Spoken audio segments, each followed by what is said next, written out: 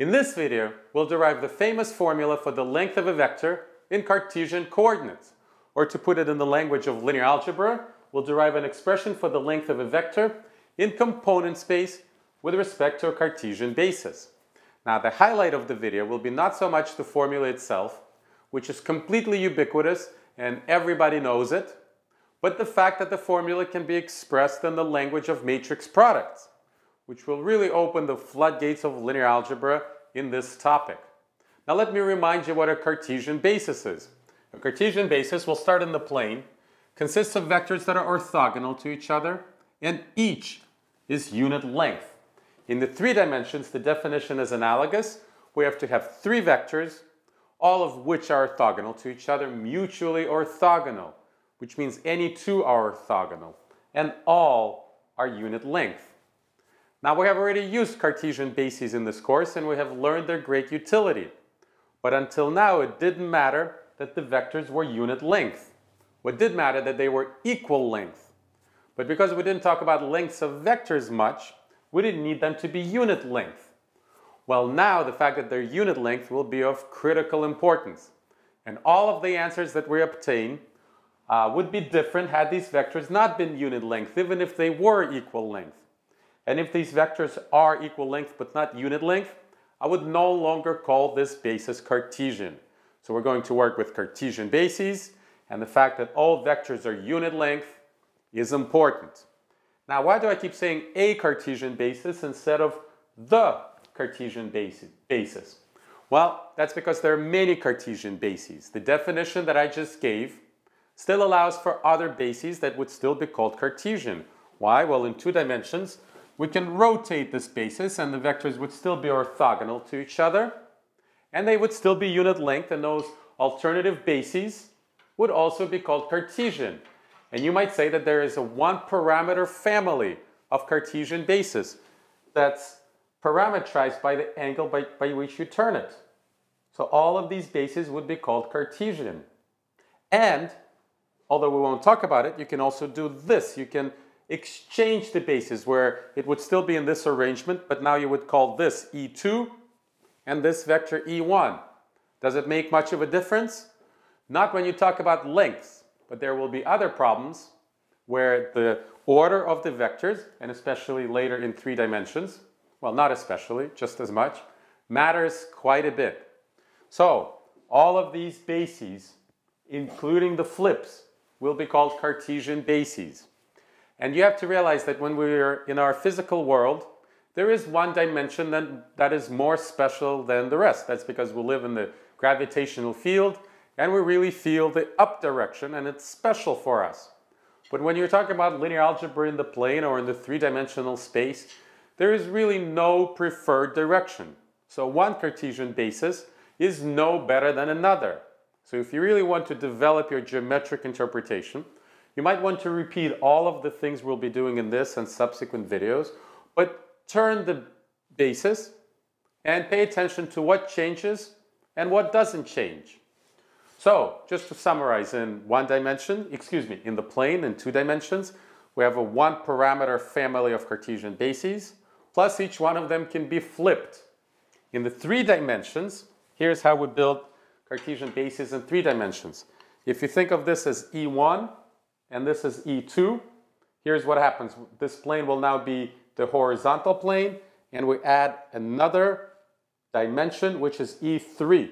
So here is that basis, E1, E2, E3. So this is actually a pretty good drawing. And once again, we can rotate these bases whichever way we want, plus we can flip any two of the vectors.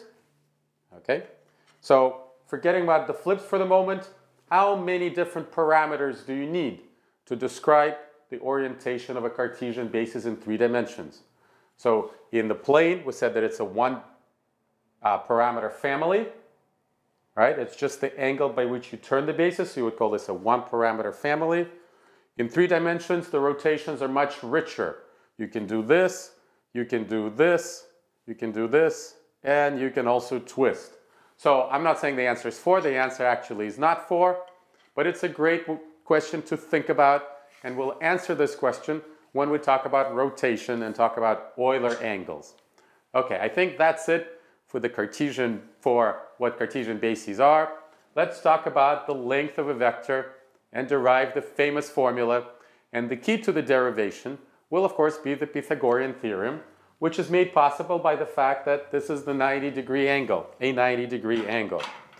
Let's now derive that formula. Well, we have to figure out graphically what the components of the vector v are. So here's the setup. We have a Cartesian basis. I brought it over here because I don't want to mess with that drawing. We have a vector v, and this vector v is decomposed with respect to this basis. And its components are alpha 1 and alpha 2, which I can organize into a, a pair of values. So this is an element of R2. I'm putting subcapital C here to remind us that these are the components of the vector v with respect to the Cartesian basis C. So that's what this sub C is. And I'm calling this element of R2 alpha. So you can think of alpha as a 2 by 1 matrix or as an element of R2. Of course, the two types of elements, types of objects are really mixed together. And let's also remind ourselves of what it means to measure the length in the physical space, in the real space. Well, there's essentially just one way to measure the length of a vector, and that's to pick up a tape measure, put it up against the vector, and read off the value 13 and a half inches. I don't have a metric tape. Okay, so now that we have the length of the vector in the real space, here's our goal. Our goal is to come up with a mathematical expression that would lead uh, that would yield the same answer, 13 and a half inches. And that expression needs to be in terms of alpha 1 and alpha 2. So our goal is set. We have to come up with an expression for the length of the vector in the component space, where the components of the vector are alpha 1 and alpha 2. And it's not hard to do. Let's figure out in this picture what the components of the vector are. And of course, you have to draw these two projections. That's how you find the components of a vector. And the length of this segment right here is, of course, well, this is the right angle. That's important because these lines that we just drew have to be parallel to these vectors. So this gives us a 90 degree angle here. And the length of this segment right here is alpha 1. This right here is alpha 1. And it's alpha 1 precisely because the vector E1 is unit length. Had the vector E1 not been unit length, this segment right here would not equal alpha 1. It would equal the length of E1 times alpha 1. We'll discuss that in a separate video. Good question to think about on your own, but we'll discuss it probably in the next video. So if the length of the vector E1 were 10, then the length of this segment would be called 10 times alpha 1. Because alpha 1 is the number by which you need to multiply E1 to yield this vector right here. That's what decomposition means. But because E1 is unit length, this segment right here is precisely alpha 1. So we're using all properties of Cartesian basis, orthogonality, shows up right here. And the fact that this is in fact alpha 1 comes from the fact that E1 is unit length. Uh, this point is as simple as it is subtle, so we'll discuss it in a separate video. And of course, this segment right here is alpha 2 by the exact same argument.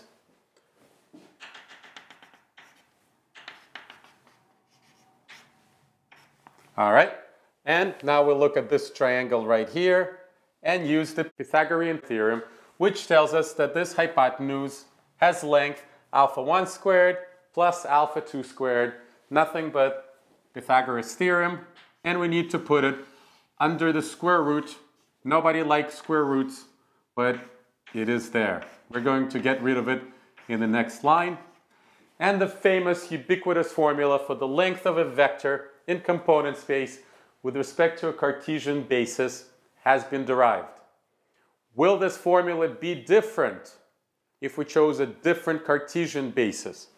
What would change what would stay the same? Let's not rush through this question. So our basis was this, of course not to scale, but essentially this.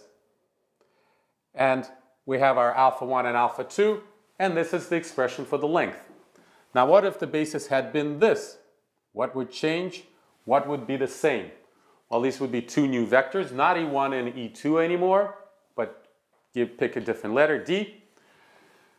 And of course, the components will change. The basis changes, so the components change. But we would once again use the same sort of argument, use the Pythagorean theorem one more time, and it will obtain the same kind of expression, although the values of the coefficients would be completely different, and maybe the names of the components would be different. So yes, the names of the components should be different because they're components with respect to a different basis. But in terms of those new components, it will be the exact same expression. So this expression is relatively versatile. Yes, it's limited to Cartesian bases. Yes, it would be entirely different if the basis was not Cartesian, but it does work for all Cartesian bases. And if you choose a different Cartesian basis, the components will change. But if you use those new components, and once again combine them in this expression, you will get the same number, 13 and a half inches. And if the basis was not Cartesian, totally different expression. Here's what we're going to do in probably the next video, where we'll take E1 and stretch it by a factor of 3. So it will still be an orthogonal basis, but no longer Cartesian. The vectors won't even be equal length. Uh, one will be length 3 and the other one will remain length 1. And what will be the corresponding expression? It will be different. If you'd like to figure out that question before you watch that video, that would be great.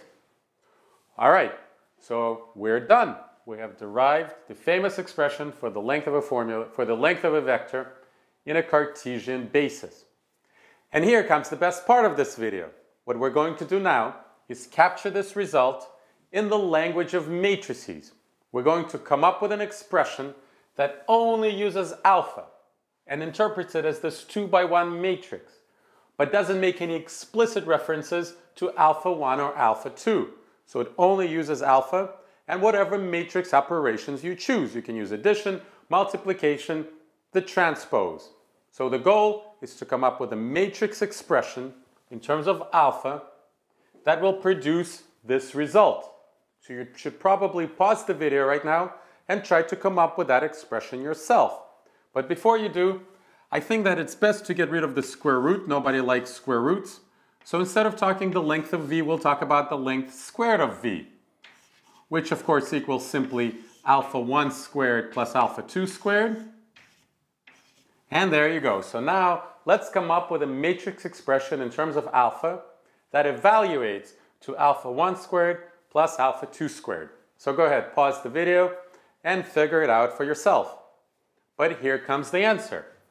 What we're looking here is a number. So we have to come up with a matrix product that results in a one by one matrix. And of course, one by one matrices are equivalent to numbers. And with the matrix alpha, which is two by one, there is really only one way to do it, which is to multiply alpha as a row, alpha 1, alpha 2, by the column alpha 1, alpha 2. Okay, so we have a 1 by 2 matrix multiplying a 2 by 1 matrix, so the result is a 1 by 1 matrix as desired. And of course that 1 by 1 matrix is alpha 1 squared plus alpha 2 squared. So it indeed evaluates to length squared of v. But remember, our contract was to not use alpha 1 and alpha 2 explicitly, and we're doing just fine with the second matrix because that's alpha. And what is this matrix as a row? Well, that's simply alpha transpose. So the expression that we're looking for is alpha transpose alpha. How nice is this? It's super short. It uses alpha as a block object it doesn't make any specific references to the entries of alpha. And it evaluates to the right answer. So it's a very attractive expression. And we have, have, of course, talked about the transpose operation before. But until now, I have really been reluctant to talk about it because we haven't had any real applications for it. Well, all of that changes now. Now that we're talking about lengths, and in a very short period of time about dot products, the transpose operation will play a crucial role and it will stay with us front and center for the rest of the course and for the rest of our careers. So now is the time for the transpose to shine. So I would like to leave you with an interesting question. So suppose we have two vectors, v and w, and v has components alpha 1 and alpha 2, and w, which I may draw in, w right here, has components beta 1 and beta 2. And I told you we were going to talk about angles. So the question is, how would you express the angle between these two vectors? Maybe the cosine of the angle between two vectors in terms of alpha 1, alpha 2, and beta 1 and beta 2. And if you're able to obtain that expression, try to convert it to matrix form, like this, that only uses uh, matrices, these co combinations of coefficients as block elements, as matrices, doesn't make any individual references to any of the components. So we will actually answer that question. You can try it. It involves a little bit of trigonometry. But we will answer this question later when we talk about dot products. Because as you will find out, dot products are about the combination of lengths and angles and a whole lot more. So dot products are coming in just a few videos. But for now, we will dwell a little bit on talking about lengths in component spaces.